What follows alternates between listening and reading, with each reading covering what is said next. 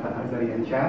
Saat ini saya berusia 30 tahun dan saya bekerja sebagai seorang konsultan plastik surgery dan memiliki dua saham di klinik bedah plastik di Jakarta. Sumatera Barat.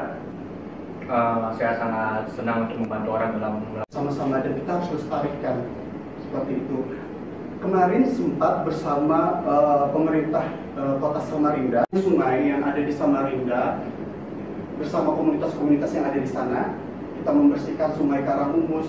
Sungai Karangumus itu di sana sangat Rizky Tianor, saya Mr. Global Kalimantan Selatan. Saya bekerja di PT seperti yang tadi diberikan gambaran kepada anak beberapa dari Ini udah belum kan? Lagi kuliah semester satu. Terus uh, kan udah kuliah sampai sedikit banyak tadi saya dengar juga yang mungkin tadi saya datang tapi hanya sebagian yang saya udah dengar tadi ya di interview tapi ada yang belum saya dengar